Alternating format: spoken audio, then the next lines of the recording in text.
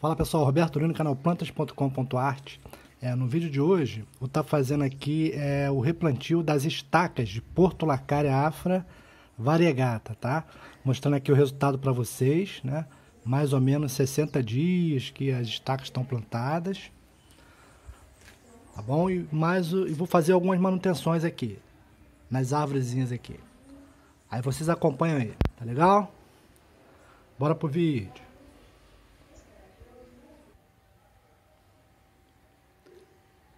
Aí já peço a você que é, é novo no canal, não é inscrito, inscrever no canal, né, fazer parte da família plantas.com.art.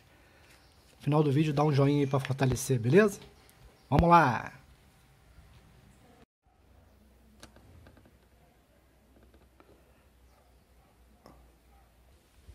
Então, pessoal, continuando aqui, ó, vou desplantar aqui as estacas de Porto Lacária variegata, né?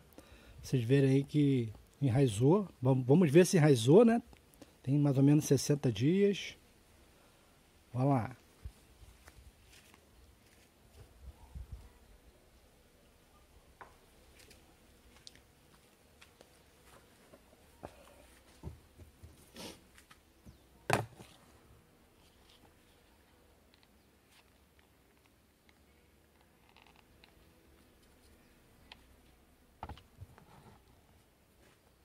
Mm-hmm.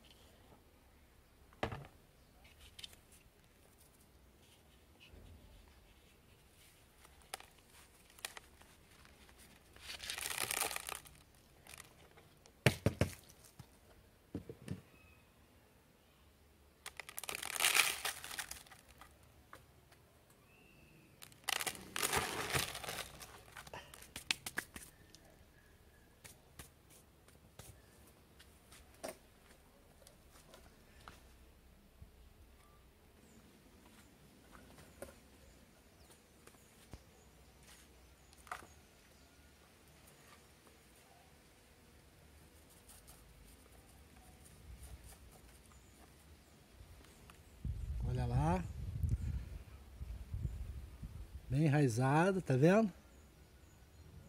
Deixar aqui do lado.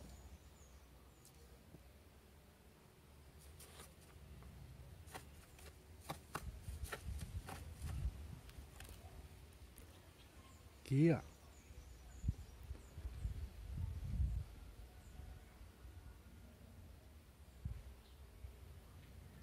Bem enraizado também.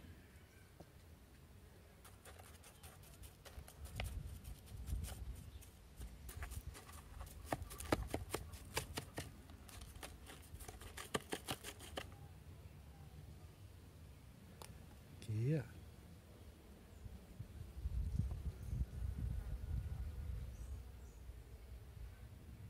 Essa aqui começou a enraizar aqui.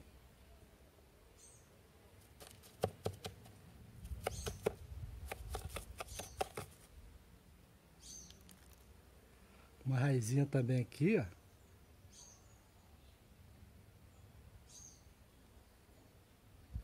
Vou aproveitar modelas de substrato, né? Botar um substrato aqui é só areia de construção.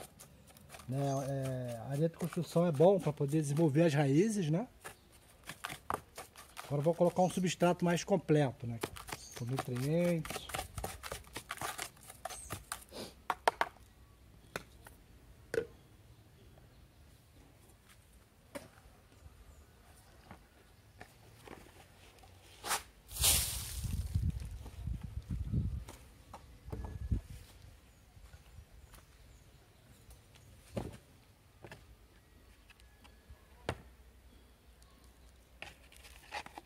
Vou colocar elas nesse vasinho aqui, ó.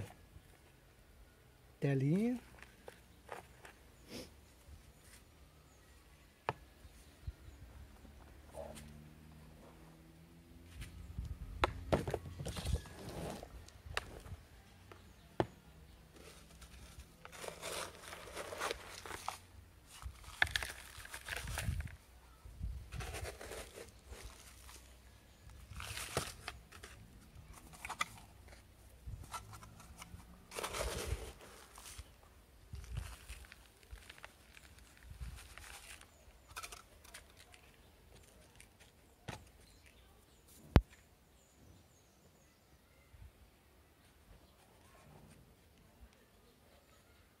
Já aproveita para espalhar a raiz aqui.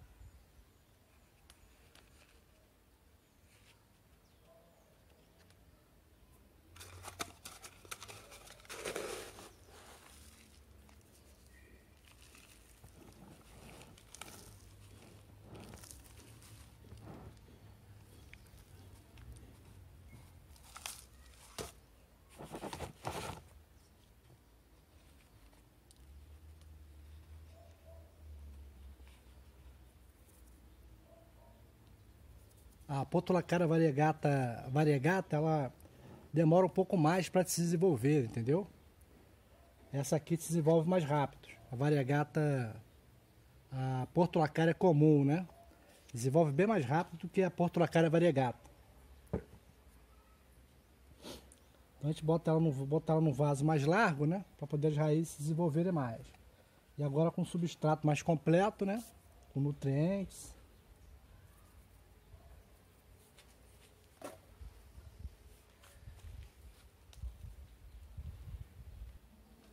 Então agora eu vou regar ela, né? Depois que a gente faz o replantio, é bom a gente regar até a água vazar embaixo do vaso, tá bom? Só um minuto aí. Pronto, replantado, já reguei ela, né? Vou mostrar de perto para vocês verem aí.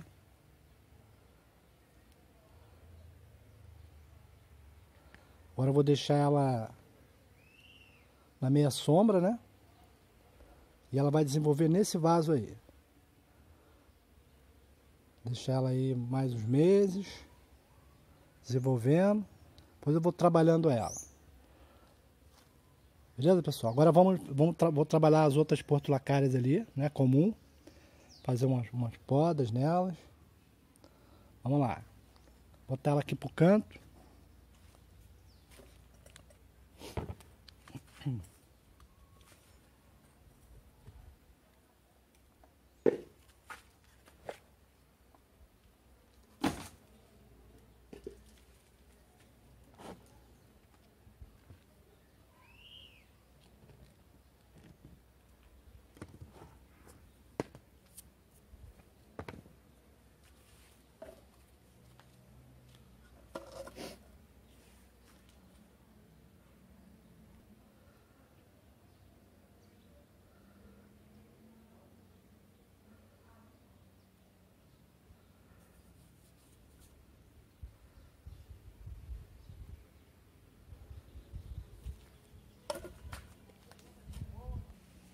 Então, agora eu vou continuando aqui, fazer uma poda, né?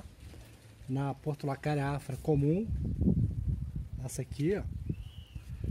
Né, tá com os galinhos bem interessantes, né? Bem abertos. Aqui um patamar, ó.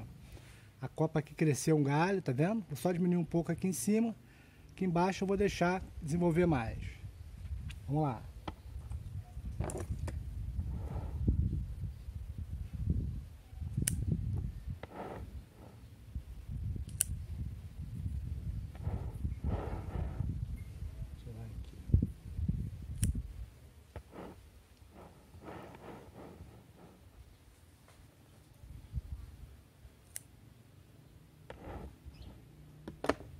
Pronto.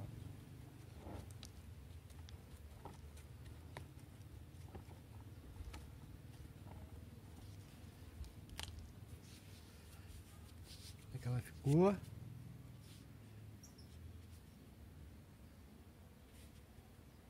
Agora, quero que vocês observem é, esse bonsaizinho aqui de Porto Lacária, tá vendo? Tá meio desproporcional essa árvore, né? São três galhos aqui, ó. Três galhos, né? E um galho grosso aqui no meio, né? Então, para a árvore ficar legal, tem que ser, tem que ter uma conexidade boa, né? Então, assim, o galho tem que vir grosso aqui embaixo, o tronco, né? E em cima, mais fino. Tá vendo? Aqui no meio tá, tá muito grosso esse galho aqui do meio. Então, o que eu vou fazer? Vou tirar esses dois galhos aqui e deixar esse movimento aqui, ó, tá vendo? Esse vai ficar essa curvatura aqui com a árvore aqui em cima. Né? Vou tirar esses dois aqui. Vai ficar assim mais ou menos. Será que vai ficar legal? Vamos ver, né?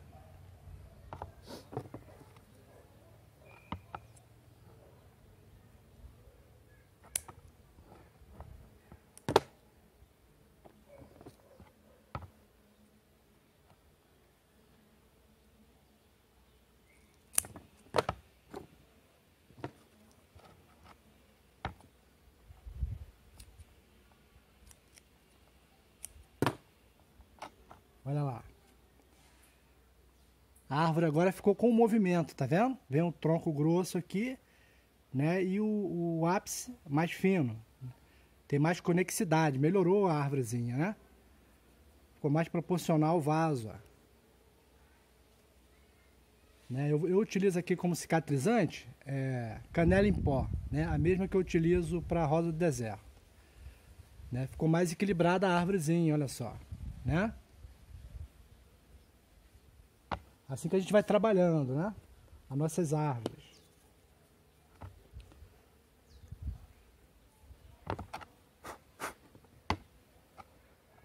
Então a canela em pó é cicatrizante, né? E antisséptica também, né? Evita fungos, porque a portulacara é, tem um tronco suculento, né? Então eu utilizo na portulacara e na rosa deserto canela em pó.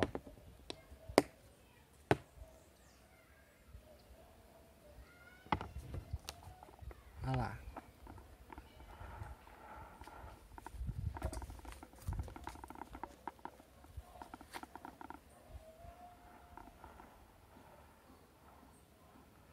Nossa árvore agora tem o um movimento, né? Ó, tem um movimento aqui no tronco, ó.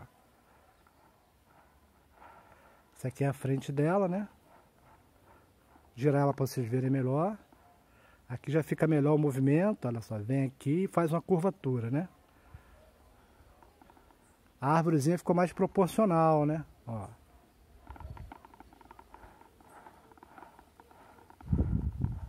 Tá bom, pessoal? Então esse foi o vídeo. Até o próximo vídeo. Tchau, tchau.